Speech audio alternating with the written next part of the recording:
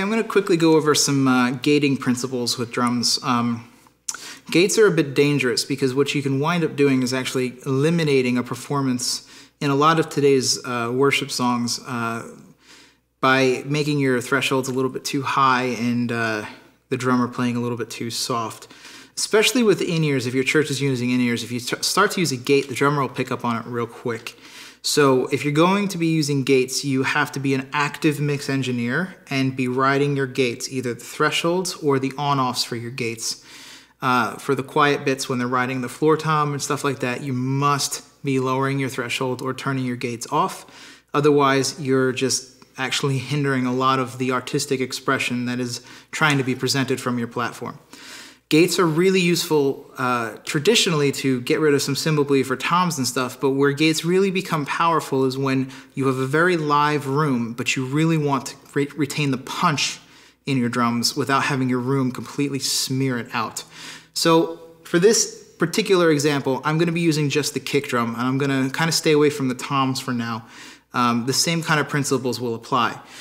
Um, with a kick in a very large room, all you really need is the transient. Okay, you really just need that first 40 to 50, possibly 60 milliseconds of sound to get the drivers to pop, and that'll push enough air in the room, uh, but not have so much extra information that uh, you're continuing to ring the room.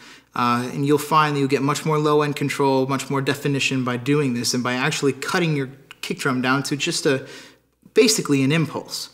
Um, you can do this uh, by retaining tone by using 45, 50 millisecond um, holds and stuff like that. So let, us go to our kick in and let me see if I can articulate it. This recording specifically doesn't really need a lot of this because there's been a lot of control done in the recording environment, but uh, we'll try and articulate this anyway. I may go a little bit hard with my example here and extreme settings so that you get the idea.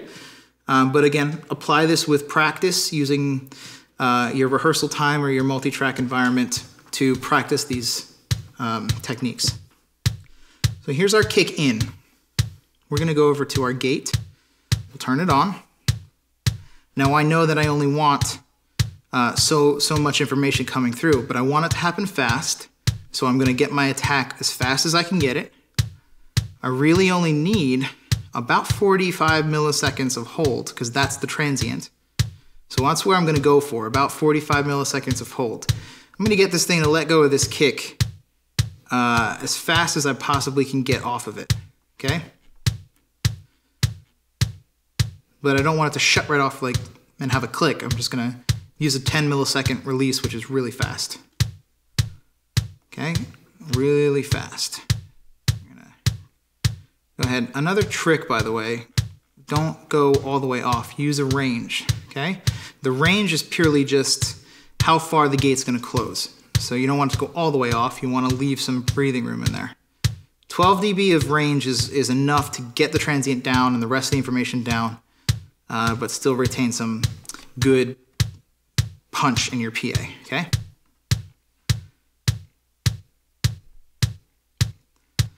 Winding this threshold up till it's just, hear that? Okay, that's that gate getting really aggressive. Here's a trick with drums. Many people think that they need to high, uh, use a key uh, for their dynamics control that is relative to uh, the frequency of the drum. Well, that's not necessarily helpful because if your drum is very resonant, uh, anything you hit, a tom or a snare or something, may cause that resonance, resonance to act up and open your gate and cause muddiness in your mix. What you just want to do is get rid of rumble and get the attack to trigger the gate. So what we're going to do okay, is we're going to go to our, here you can see I changed this to show me the uh, key filter and key solo. So I'm going to listen to our key solo. Okay, right now it's pretty much pretty much everything. Let's go ahead and select self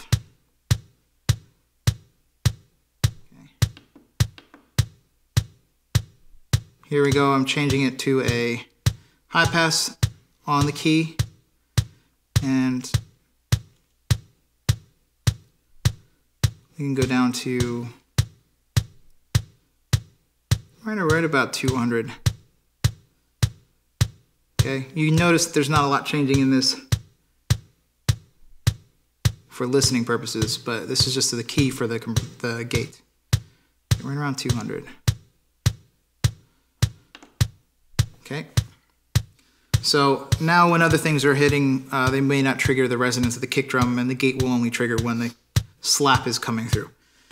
So go ahead and bring in this kick out and I'll do something similar. Okay, I'm gonna leave it as a gate. We're going to make it incredibly fast in the attack. We're gonna hold for about 45 milliseconds. We're gonna get off of it really fast. Okay, we're gonna give it a range of about 12 dB. And we're gonna get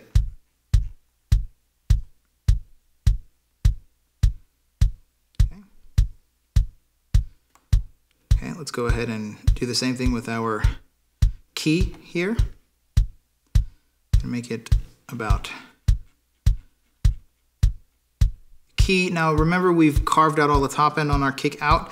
The key is actually going to be taking information from before the EQ, particularly with the Behringer and the Midas consoles. So, so that's what the gate is actually hearing,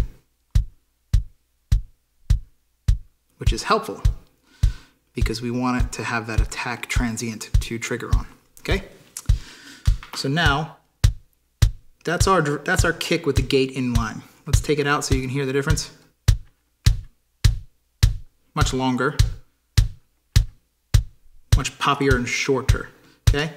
And like I said, this is all for acoustic reasons. This is to get your drivers to pop and move some air and then stop moving so that the air dies off quick and uh, you don't have too much uh, issues with reverb in the room messing up your drum sound and your punch, okay? For the purposes of this demonstration, we don't need to keep this in, so I'm gonna let it have its breath back. Cool? Uh, just sharing my own personal experience, I gate the kick. I do not gate the snare. I do gate the toms. Um, and I use a about a 10 dB range on them because I need the articulation if they play soft. If I don't get to the release on the gate quickly or the threshold on the gate quickly enough while I'm mixing, uh, I still want some information to come through.